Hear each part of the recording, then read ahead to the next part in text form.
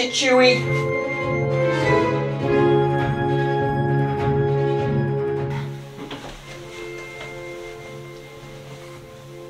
That was bumpy. Yeah. You know, I'm thinking maybe we should head for that small moon. That's no moon. That's a space station. How do you know? Look at it. Where are your glasses? Oh, they're way over there. No no wonder you can't tell whether it's a moon or a space station. Put your glasses on. No, that's a space station. It's too big to be a space station. There's no space station that big out here. Look at it. Why are we still moving towards it? I don't know. They like Chewie auxiliary. Where's Chewie? Maybe he's in the bathroom. Man, I haven't even had a coffee yet. uh, excuse me. Why are your glasses all fogged up? It's really hot in here. Yeah, you should really like I don't know, invest in something a little more breathable, maybe. Excuse me. This is nice. It's warm. I mean, the heat works in here. It's not like. Never mind.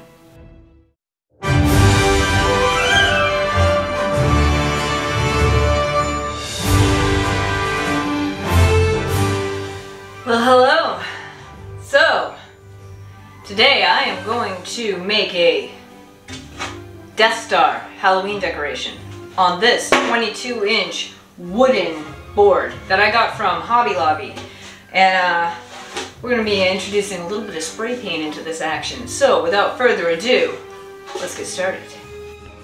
Okay, so the first thing that I wanted to do because I was going to be working with spray paint is to draw out a Death Star on poster board and then painstakingly cut out each and every square with a precision blade. And I mean painstakingly because I basically did this on the floor on, on top of a cutting mat and my knees um, were very sore and not only that but I, I still can't feel the tip of my index finger on my right hand because of pressing into that for so long to cut out every single little square okay so this was um quite a project to create a stencil this large for spray painting but it really was well worth it in the end and I used um, some Liquitex indoor spray paint and got my base colors onto my 22 inch circle. And so I basically used a white, a lighter gray, and a darker gray and black. And so then I put my stencil on.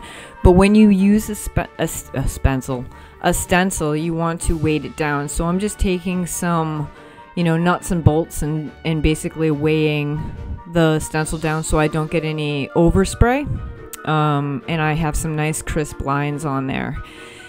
So once I've finished kind of getting all that spray paint down, I take um, pieces of paper and I lay them down over the parts that I don't want to spray anymore so that I can get that center line that goes across the Death Star nice and black. And then weigh that down as well with some bolts, nuts, and then I can take that off.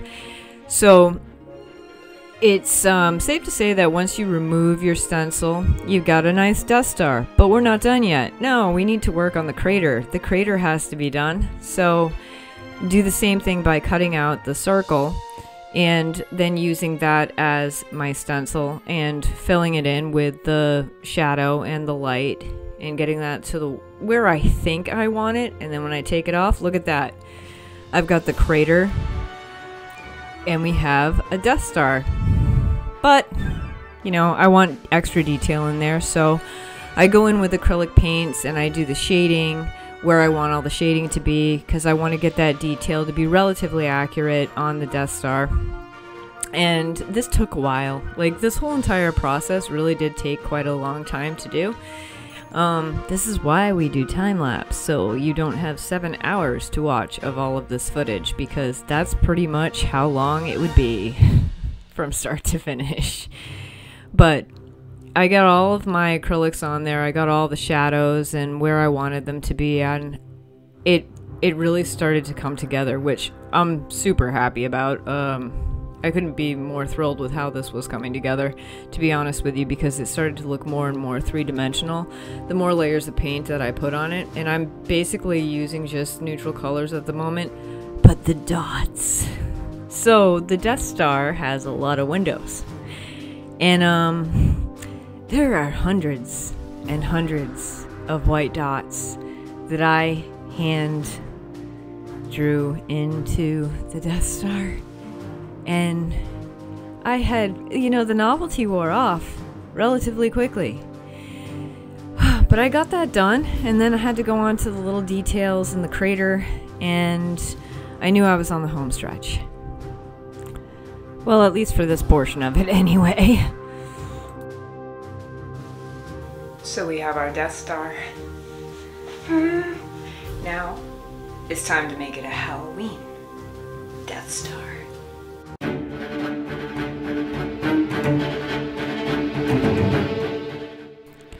So, you know, a Halloween Death Star wouldn't be complete without the Emperor. You need to have the Emperor. Emperor Palpatine on a broom because that says Halloween all over it. So, of course, that had to happen. And bats. We have to have bats.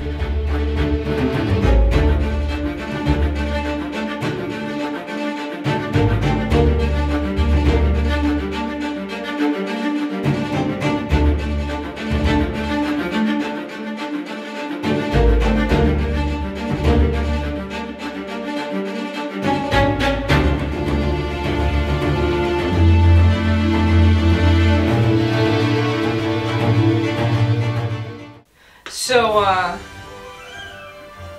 I'm kind of surprised to see you here. Yeah, I uh, I made my great escape. You, you know what? You were supposed to face Vader and die. I was. You chickened out. I did. Well, I didn't chicken out. You, You, know did what? chicken out. I had a moment with Chewie. Yeah, and uh, it, it made perfect sense, so I got my stuff and I left.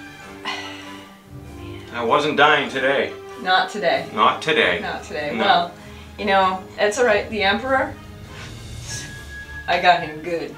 And what did you do? Look, check this out. So while I was in my cell, Yeah. I painted this. Ooh. I painted this. You did, this is really gonna take him off. Like Yeah. seriously. Wait till I post this on his Instagram. You're gonna post it I'm gonna post it on his. He's gonna be like all lightning fingers and stuff. Oh man, it's gonna be crazy, crazy. But it's okay because when we get back to Earth, I got this YouTube channel. a YouTube channel. Yeah, so I've actually filmed a lot of like, you know, our earlier interactions. It would've been nice to let me know. Yeah, I didn't. I didn't think that you, you were kind of on a need-to-know basis. Oh. Anyway, so I'm just gonna. If you like this video, please hit the like button. Please subscribe if you haven't already subscribed. And may the force be with you. I will see you next time. Love you guys. Bye.